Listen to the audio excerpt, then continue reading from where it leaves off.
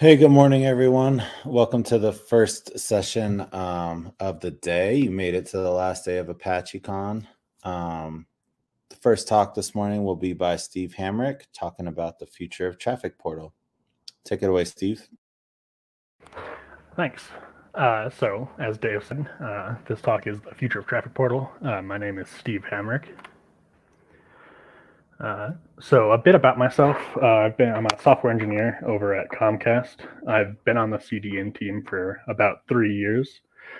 Uh, in my spare time, I like to go bouldering and hiking. I'm also a pretty big gamer.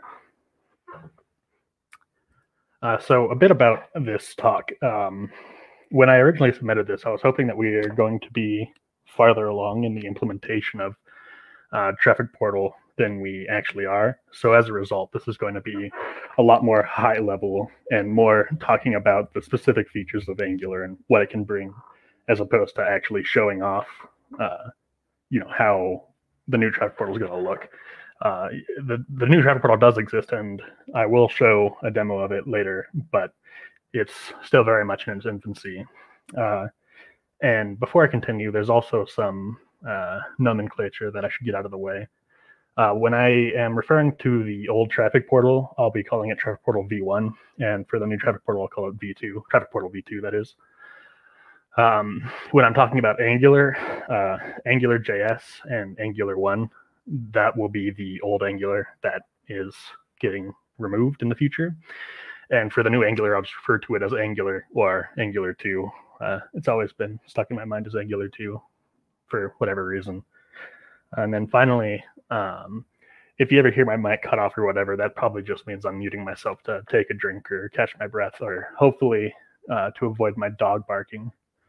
Uh, we'll see. He likes to bark, so hopefully that won't be too bad. Uh, but so in this talk, I'm going to be going over the current state of Traffic Portal. Um, then we'll be talking about uh, the high level overview of what the new Angular uh, brings to the table, uh, what kind of things it can do, uh, the tech stack it brings, and then we'll also be going into some comparisons. Uh, so a brief overview of the agenda. We'll, we'll, talk about V1 and its tech stack, the Angular, the history of Angular, uh, the new Angular comparison overview, what you get out of the box, and stuff like that. Uh, and then I have a demo of the new traffic portal lined up, as well as uh, some examples of what you can expect from the new Angular and the kind of things you can do uh, with it. And then finally, I'll finish up with uh, Q&A. Uh, so first off, uh, Traffic Portal v1 is built using AngularJS jQuery underscore Flot SCSS. Uh, Flot is our charting library that we use. Um, or I, guess we also use Chart.js as well. Um, one, the impetus behind this entire rewrite, quote unquote, it's kind of half a rewrite since it's the same framework, uh, is that AngularJS is end of life at the end of this year. And it was actually supposed to already be end of life, but thanks to everybody's favorite disease, um, they pushed it back farther. So lucky for us, we got some extra time. Uh, and so the build system for Traffic Portal v1 is actually pretty uh, complicated and it's kind of convoluted as well. Uh, and and you know before I start digging into Traffic Portal v1, I just want to say it's not really the fault of the developers who worked on it. You know, they did a great job. It's really, if, if I'm blaming anybody, it's the 2010 development, web development ecosystem where, you know, it's very wild west where you have to figure everything out yourself and get everything working yourself and all these features uh, you need to do yourself. So as an example of that, uh, Traffic Portal v1 uses a custom build system. Uh, for package management, we use NPM and Bower. Uh, I put an asterisk next to Bower since, uh, as of a couple of weeks ago, that's actually been removed and everything is managed through NPM. Uh, but it makes a stronger case if I include it here, so I did. Um, and then the actual build system is orchestrated through Grunt, and this runs many different steps: Compass, Browserify, HTML2JS, cache busting, and more. Uh, so if we go look at uh, how the current build is. So I'm in I'm in our repo. This is essentially uh, what is available on GitHub right now. Uh, in the traffic portal folder, you'll see we have these JSHint files, which you know that's essentially a, a replacement for a linter except it's very it's pretty unflexible and it's also uh, doesn't it's not enforced. Uh, we have our gem file, which uh, for the Ruby devs out there, this is our uh, Ruby dependency management. And you might be asking, why do we need Ruby for Traffic Portal? And the reason for that is Compass, which is our SCSS compiler. Uh, and this part right here actually significantly increases the developer build time and the difficulty with actually getting a developer environment set up just because you have to install Ruby just for this one thing. Uh, and then there's also this grunt file. And so this grunt file is kind of like our overall uh, build orchestration. So, you know, it, we register all of our tasks and we define uh, what we want to do. Uh, and so if you look at the grunt folder up here, this is where all those tasks are defined and configured. And as you can tell, there's quite a bit of files and we have to manage this all of ourselves. So, you know, if something gets deprecated or maybe there's a security issue, we have to go digging through all the things and get that working and make sure it works with our tech stack and all that. Uh, and you know what you don't see here is the bower.json and the bower.rc or files, which uh, that's just another package manager that was deprecated. And you know, just to give you an idea of why having to build your own uh, or build your own build system is a problem. So I'm looking in the package.json, which is the npm dependencies. Uh, so we have our dev dependencies, but if you look at these dependencies down here, which are just uh, the uh, normal build dependencies, all the ones that are listed here were things that were in Bower that got moved over for the most part. There's a couple of them that aren't. And so, you know, Bower is deprecated. And so what that means is, you know, for a couple of these, we actually had to upgrade our libraries because NPM didn't even have, we were using such unsupported versions of uh, packages that we had to upgrade. And you know that ends up causing us some problems. So for instance, we had to upgrade jQuery, and it turns out in that upgrade, what they had done is they changed from uh, I forget exactly what it was, but they switched their module system from like AMD to Common JS or something like that. And that actually is runs uh, counter to how our current build system works with Browserify because it always assumed it was the same module types, uh, which it wasn't. So, you know, that's a headache we had to solve. And that's just because we're building or using our own build system.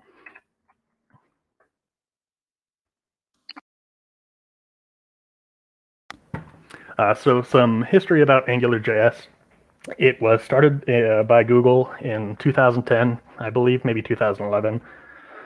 Uh, the first beta release was in 2011.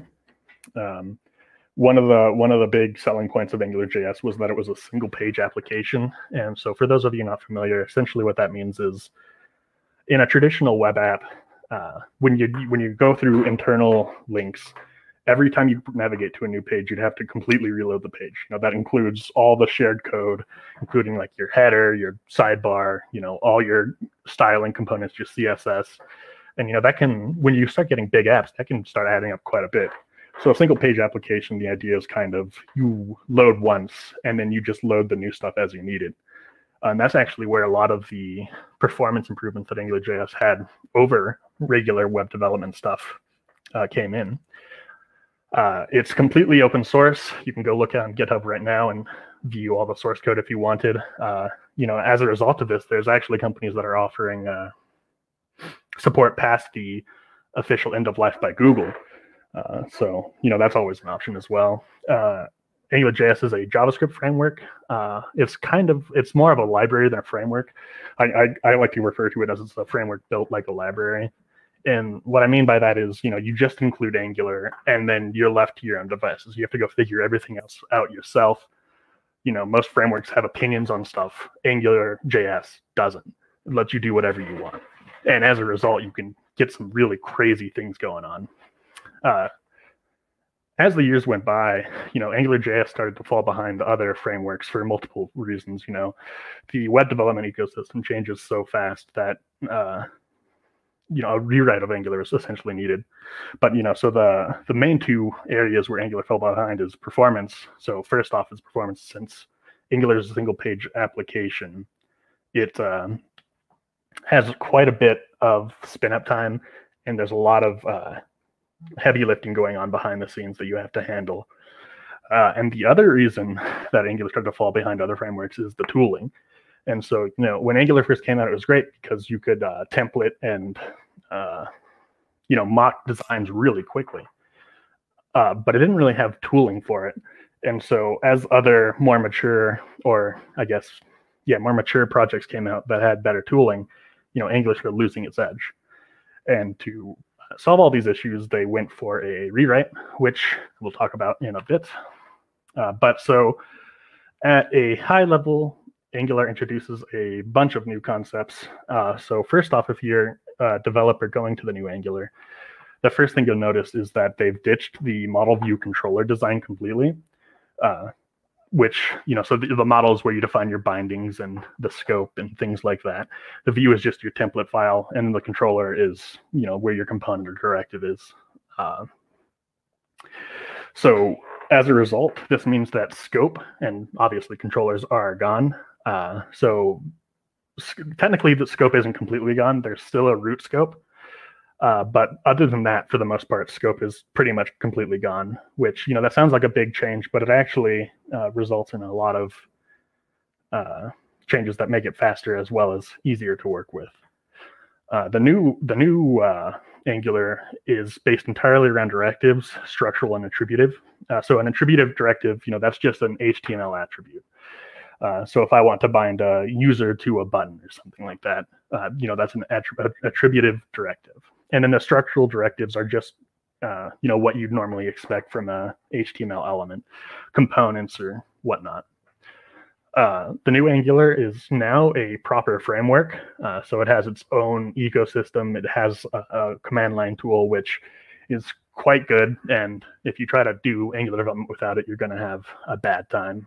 Um, it has its own build system. You know, all the stuff that I listed for the TP v1, you know, for the most part, all of that stuff comes out of the box. And for the stuff that doesn't come out of the box, you can relatively easily uh, get it working by usually uncommenting a couple lines, depending on what it is, and just installing an npm package. Uh, it has much better built-in support for accessibility. So, you know, things like uh, blind, blind or colorblind, things like that. Uh, that's built in more. Uh, it has better mobile and legacy browser support. So I mean, you could do polyfills before, but again, it comes out of the box with polyfills, and it's very easy to add stuff. So for instance, um, you know, Angular doesn't work on Internet Explorer anything before 11. I don't know if there's a 12. I don't think so, but you can include polyfills, so it does. Uh, and on top of that, you can also include polyfills for specific for mobile browsers. So you can do, you know, you can uh, shim your browser events to be more friendly for mobile, even though you didn't actually do them yourself. Uh, one, you know, th- this isn't technically strictly uh, new to the new Angular, but there's modules. You know, Angular JS uses modules, but the way uh, Angular 2 uses modules is much more fleshed out and it makes a lot more sense. Uh, and as a result, you can also do dynamic loading of modules. That's also something you can do with AngularJS, but again, you kind of have to finagle that yourself, and it can be quite a nightmare. Uh, there are some other things like asynchronous template compilation, which you know again that improves performance. There's better callbacks uh, using RxJS, which is you know that's just a JavaScript library that uh, you know it better encapsul- encapsulates how the uh, background processes of JavaScript actually work, and it's much easier to hook into their life cycle events directly and whatnot. Uh, one important thing that they decided to go with is uh, they use semantic versioning, uh, and also they aim for a six-month release cadence. So that release cadence is important because you know if if you remember when I was talking about AngularJS, one of the reasons it fell behind it fell behind because the web development ecosystem is changing so much. So the six month release cadence, and so by six month release cadence, I mean every six months they aim for a new major version.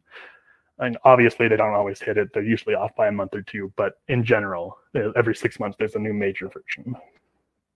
And this allows them to keep up with web development standards without having to do a, uh, another Angular rewrite, so to speak. Um, there's new binding and expression syntax, which this is probably some of the uh, most exciting part for a developer, in my opinion. Uh, I'll show some some examples of that later.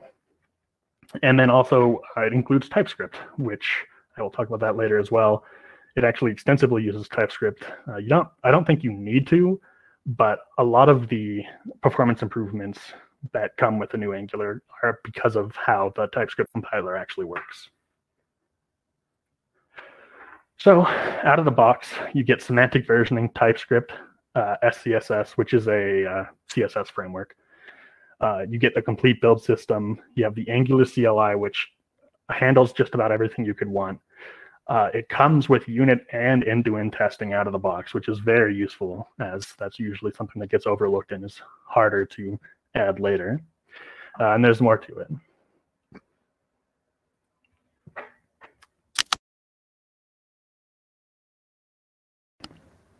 So if we are looking at semantic versioning, uh, now this these timelines are roughly to scale. Uh, they line up almost. They don't really because it was hard to fit on one slide. But the top is the Angular JS history, uh, and the bottom is the Angular history. So with Angular JS, you can see they kind of didn't their versions didn't really mean anything. They were just upping the number whenever they had a new release. Uh, you know, you could have breaking changes in a minor uh, quote unquote, if you're talking semantic version and semantic versioning, uh, you could have breaking changes there. Uh, their their release was kind of all over the place. They didn't really have a specific time. Uh, and then in 2016 is when they actually released the first version of the Angular rewrite. And the first thing you'll notice is that they have a release about every six months. You know, I mean, obviously there are some exceptions and things get in the way and whatnot. Uh, but that is uh, one nice thing. You know, for instance, the original Angular compiler came out with V2, but in I think it was V7, maybe V8, uh, they introduced the Ivy compiler, which actually had a significant amount of performance improvements, and and you know it really helps the Angular ecosystem. I'll, I'll talk about that more in a bit. Uh, and then one other thing you might notice is uh, down here they skipped version three. They just did that for I, I don't remember. That was such a long time ago. They did it for to. They had some issue matching versions on all their libraries and repos they were running or something like that. Uh, so a bit about TypeScript. Uh, for those of you who aren't familiar, it is made by Microsoft. It is open source software. It is a superset of JavaScript. It transpiles to JavaScript. Excuse me and it introduces type safety. And I put safety in quotes because if you know what you're doing, you can actually get around it. Uh, as more versions of TypeScript have come out, it's gotten harder and harder to do so. And on top of that, uh, TypeScript has you can do some pretty interesting linting things, which allow us to uh, help guarantee type safety. You know, you can avoid the pitfalls where you can trick the Angular or the Angular, the TypeScript compiler and so, oops. So if we go look at our current uh,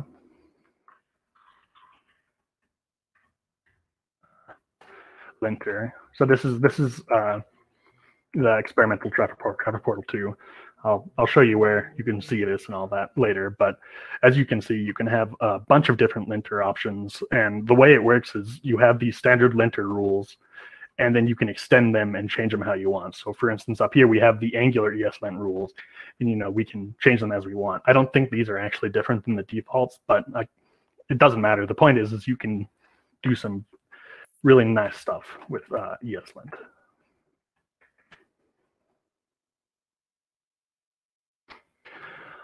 Uh, so the Angular build system. Uh, so Angular introduced the compiler, and so normally you just have the Angular runtime, but the uh, compiler is what is what allows Angular to be so much faster, as well as it helps with the tooling, and it it's it's great. I'll I'll talk more about that in a couple slides.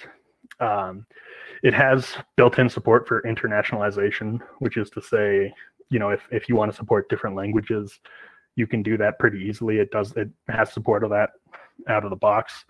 Now, it's, it's worth mentioning that this probably isn't something that would be in TP v2 because you kind of have to design your app around that.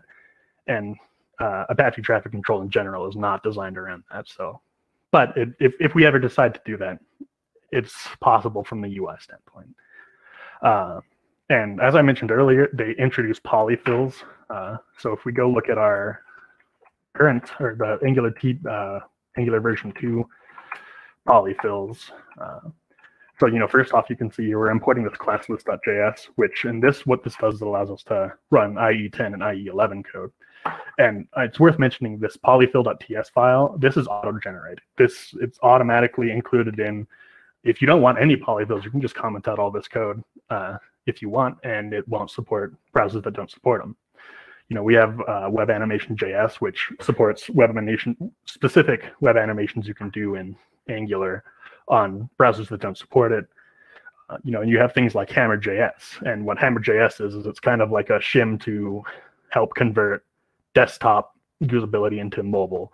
So you know, it makes when you're when we're developing this, you know, it'll be for desktop, and so all the events and the way things work will be based on mouse movement. But mouse and touchscreen is quite different, and so what Hammer.js does is it allows you to uh, not have to worry about your mobile experience as much.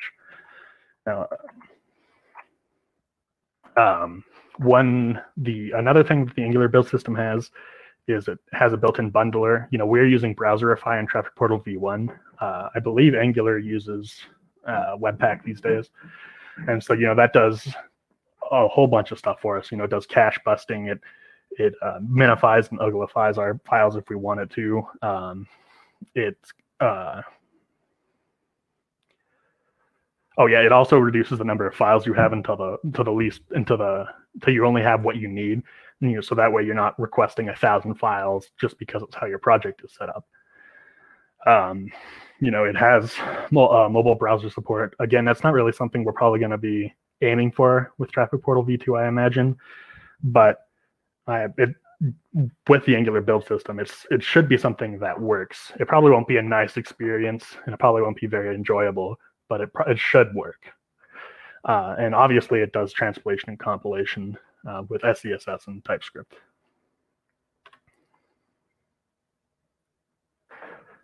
So uh, talking a bit about the Angular command line uh, interface, it encompasses the entire ecosystem, and that's important because there's a lot of stuff that Angular is doing behind the scenes. And the CLI is what enables us to not have to worry about all the build systems and our package managers and whatnot, like we do with Traffic Portal v1 uh, you know, with with the Angular CLI, it can do pretty much anything you want. So if you need to make a new project, it does that, sets up everything for you, uses its uh, sensible defaults. Uh, you can generate components, services, you know, whatever you need. And whenever it does this, it it generates everything you need. If, if, if you build your app correctly, it can even hook up the routing for you as well as put it in the right module. Uh, the other thing the Angular CLI does is it handles updates or upgrades, and that's actually one of my favorite uh, features of it. Is you know the npm updating npm packages is actually a real pain in the butt, uh, especially when you have a big app with multiple uh, you know with uh, multiple dependencies and each one requires a different version. And you know they even made so on top of that uh, they even have this website update.angular.io which will you know you you select what versions you're on some things you're what what you're using the complexity and it'll show you all the things that have broke and all the things you should know about when changing and so you know this on top of so you see ng update right there that command is what actually uh, does the updating and it's as simple as that kind of uh, but yeah so they've built this whole uh, ecosystem around ng update, which makes updating significantly easier.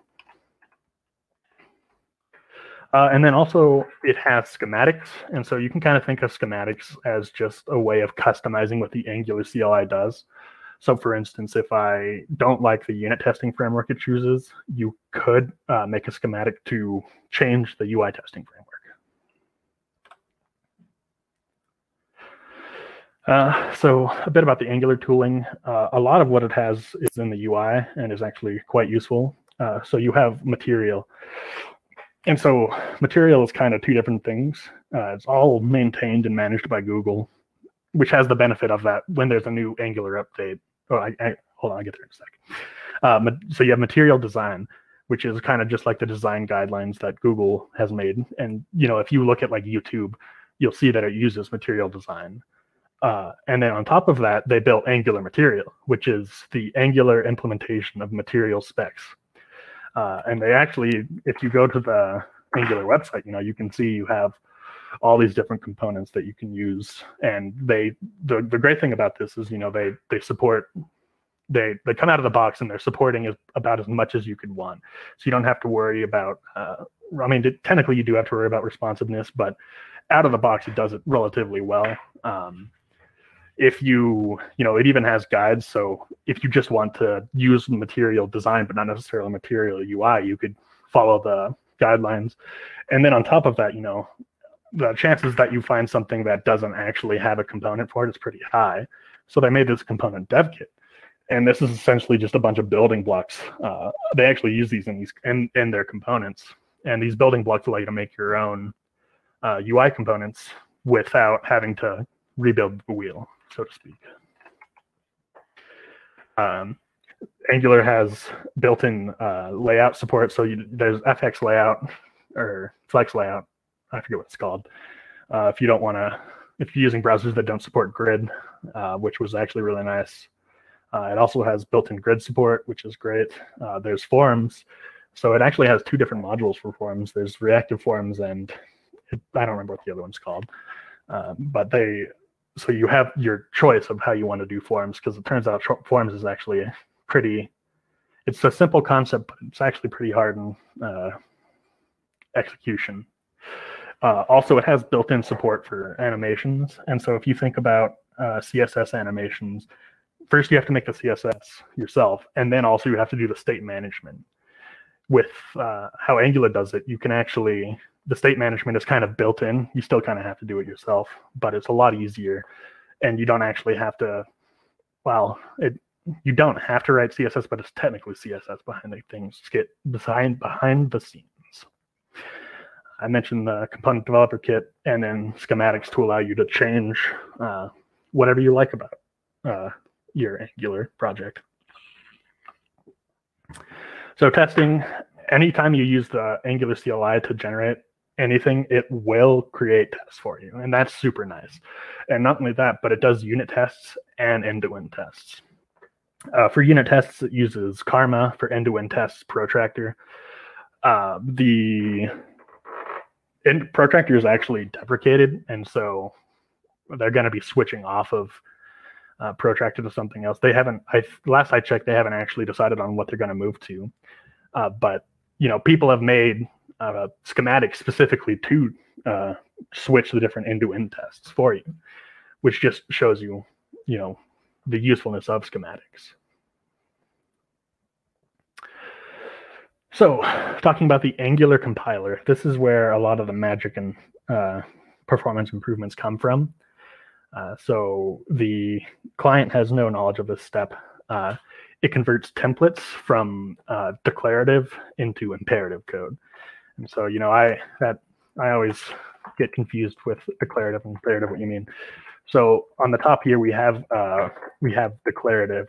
Uh, so you know, we have a component that we define with some directive attached to it. But you know, that's not actually what your uh, browser is going to read. What it's going to read is this imperative code. You know, we have document.create element, and then we go instantiate the component, and yada yada yada. Um, and so that the compiler does that step for us. Previously, uh, you would have to do that on the client side uh, in the old Angular, and I believe technically you can actually don't you don't even have to use the Angular compiler in the new Angular, but you absolutely should because that's just it's free performance.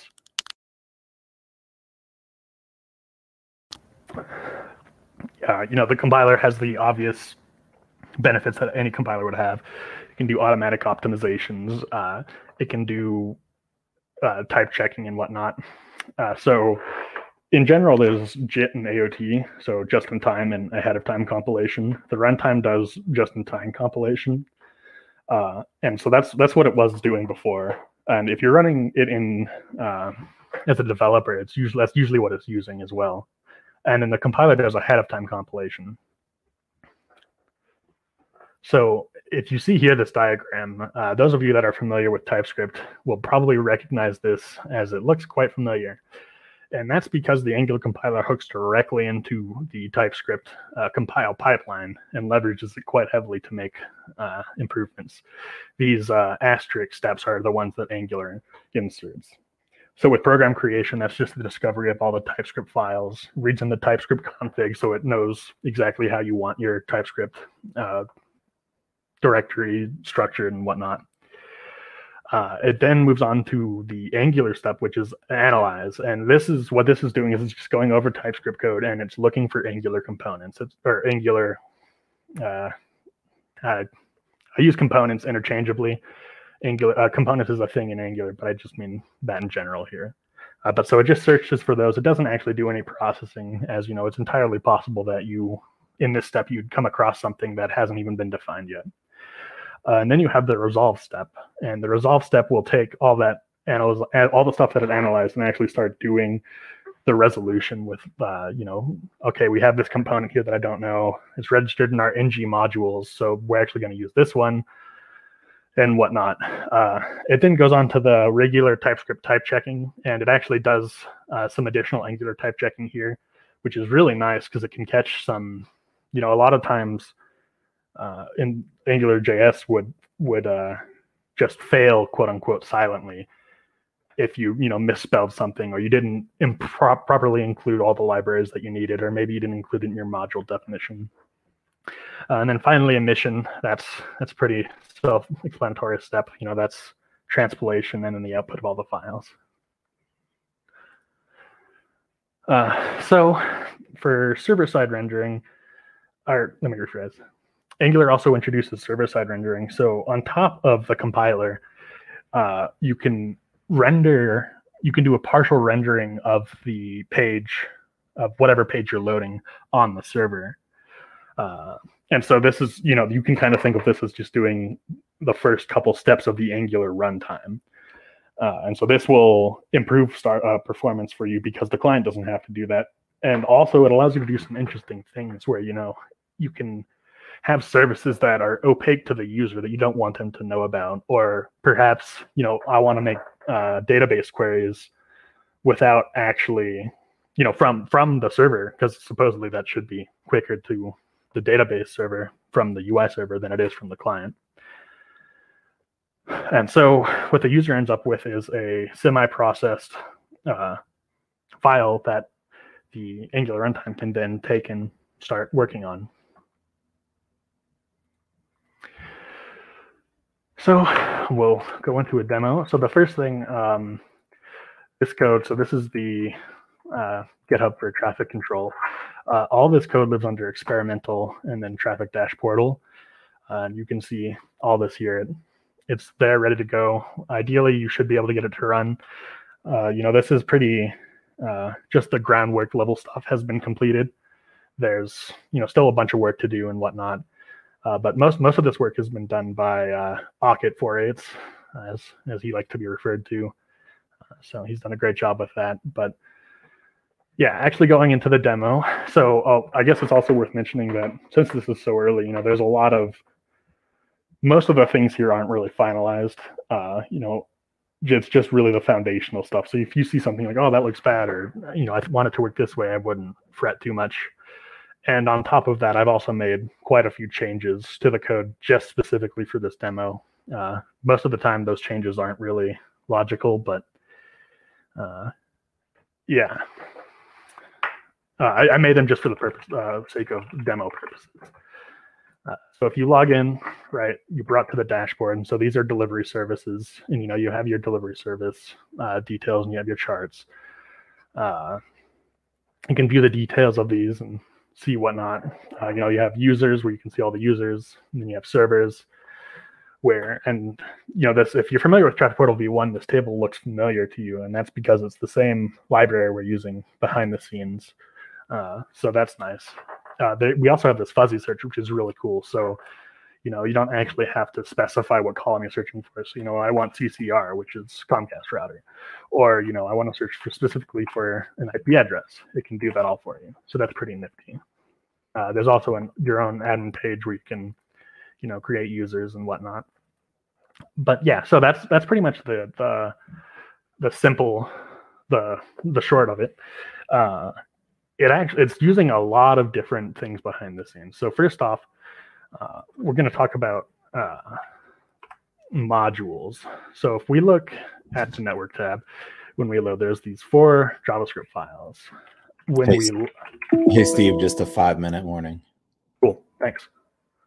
Uh, after we log in, it loads this core-core.module.js file. And that that's that lazy loading module stuff that I was talking about before. And that's actually a really cool uh, feature because it, you know, if if you have specific admin code that you don't want any user, uh, then it's uh, you know you don't have to worry about them getting that code. Uh, the other benefit of this is that it also can improve load times. You know, we're we're we're open source, so it doesn't really matter for us. But you know, supposedly, if you wanted to have your own specific, you know, for Comcast, you know, maybe we want our own page for, you know, our our uh, DevOps people, then we could add that, and it wouldn't wouldn't be loaded to any user who doesn't have permission. Uh, so that's pretty cool. Um, I was planning on showing a couple more things, but given that I'm almost out of time, I figured I'd I'd, I'd call it here and then uh, ask if anyone has any questions or anything. That's not the slide I'm on. That's the slide.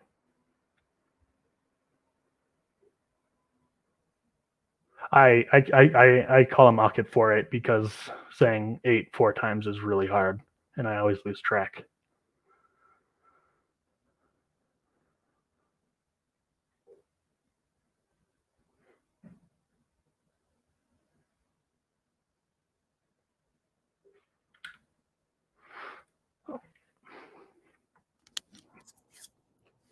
Any more questions?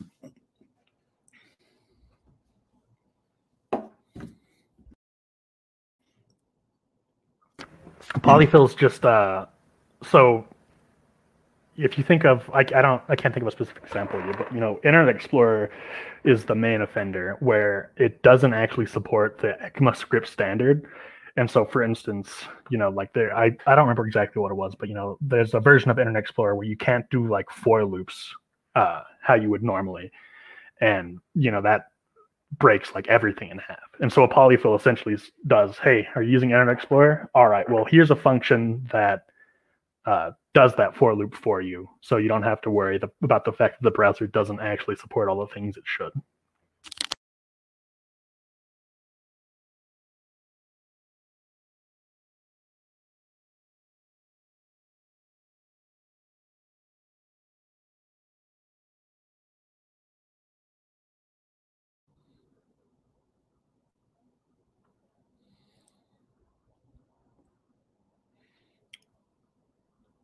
All right. well, if there are no more questions, then thank you, Steve. That was a great presentation. Great, thanks. I'll be posting these slides in uh, uh, the Apache Slack soon if you wanted to see the stuff that I didn't get to demo. Slides don't really have any of the information there, but you can see what I was planning on at least.